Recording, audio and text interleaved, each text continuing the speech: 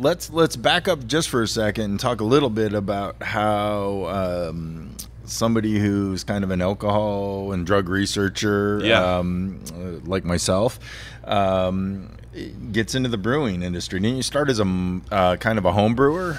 Yeah, I, I kind of, you know, I, I had a, you know, I went as I went through high school and, and college, I had an affinity for beer, as most young men do, uh, but wasn't really, uh, you know, the craft beer scene was was pretty nascent, you know, in the late '90s, early 2000s, um, and so it really wasn't until I came out to um, San Diego in 2006 is when I really kind of realized, kind of really the the, the breadth of, of beers and breweries out there, and I remember AleSmith was one of the first breweries I went to where I remember having their IPA and being blown away and their Grand Cru, and I got growlers of both of them, and I took them home, and I just had dreams about how great this beer was. And you mentioned collaborations. Um, in terms of kind of the brewing scene in San Diego, it seems like there's less competition and more collaboration or kind of a community around it than Yeah. you might expect if you were kind of looking at any other industry where it'd be cutthroat. Yeah.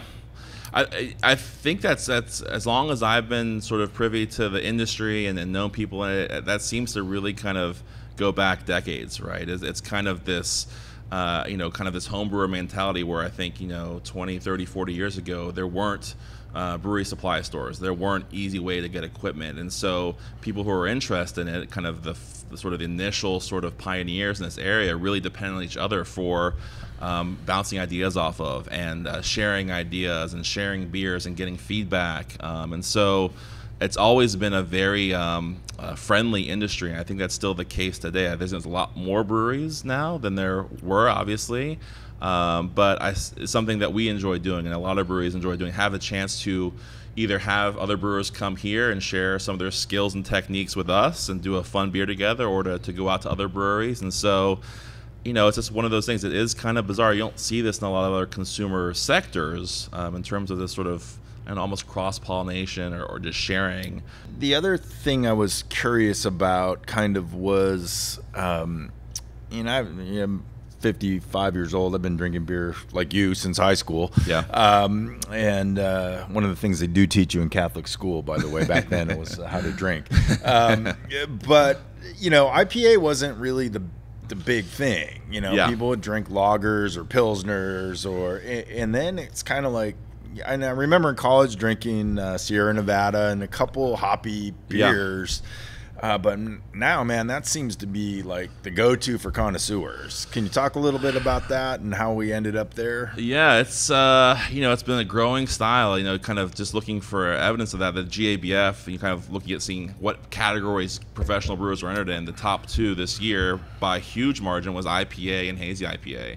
IPA actually just debuted there last year, so it's only the second year they've done it. Um, but there's hundreds and hundreds of entries in those two most competitive areas. So we know this is not just a little local or regional thing. This is national, like you're saying. And so it's been an evolution. And again, I think it's it's got origins in the West Coast. Um, you mentioned Sierra Nevada, Sierra Nevada Pale Ale, which is kind of one of the beers and the breweries that you point to as kind of really kickstarted this focus, this change in the paradigm and sort of hop bitterness, right? We have a table beer in front of us here. This is called De La Mesa. It's really nice. So this is a, a clean, crisp uh, Belgian style table beer. It came in a little bit higher than we wanted to. Bel- table beers are uh, kind of a niche uh, style that we don't really see too much in the in the U.S. Um, there is one brewery here that did it really well, Benchmark Brewing. They unfortunately closed last year. Um, and actually, our, our assistant brewer Mike is, was from Bel- uh, from Benchmark. Uh, he worked with them for a while, and so this is a chance. It's a 4.6% beer. It's got some of that, um, uh, again, sort of Belgian beer kind of phenols and flavors, um, but uh, very, very crushable. Um, again, someone who maybe not have as much experience. This is something that they could try and have might have some flavors there they can really enjoy. So if you if people wanted to to try your beer beyond coming in here, which I do recommend, Yeah. But um, how how else can can can folks find you and, and Well, it's a, it's a little tough. It, it's best to come here, come check it out. Um, we do have some draft accounts around town. Um, it's one of those things where we don't currently can or bottle any of our beers, um, but we do have connections. We do have um, you know people out there in the industry that we love to work with that have great beer facilities, beer bars, and so um, we'll send our beer to O'Brien's and and uh, Curdy Mesa. um, Hamilton's down in uh, South Park, um, small bar down in uh, uh, University Heights. Um, so you know, uh, we try to kind of get some get our beer out there to our friends who you know it's, it's kind of the top tier of, of beer bars around here. Um, other than that, if, if you're close to any of the Whisk and Ladle restaurants, so again, Catania and Whisk and Ladle are both in La Jolla Cove. They have our beers. The new Park Commons, which is just a, you know half mile away from here, they're going to have all our beers. Um, but you know, we'll see what the future holds. We may kind of expand out a little bit more, but you know, we definitely like to you know get get our beer out there and uh, get feedback from people. We we have some fun uh, accounts that um, you know there's a uh, there's a barbecue place called BT's. Have you heard of BT's? Yeah. Yep. So uh, Brad at BT's has been one of our strongest supporters, and gosh, I think aren't they they're in Santee, I want to say. Mm-hmm. Um, and so they're nowhere near this, but just from day one, uh, I think Skip met him. Skip's gone there a few times.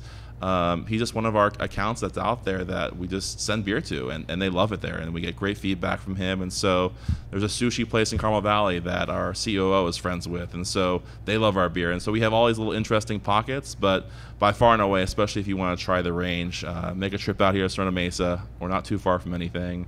Try out some food, try out some beer, enjoy the beer garden, and um, yeah, we'd be excited to have you.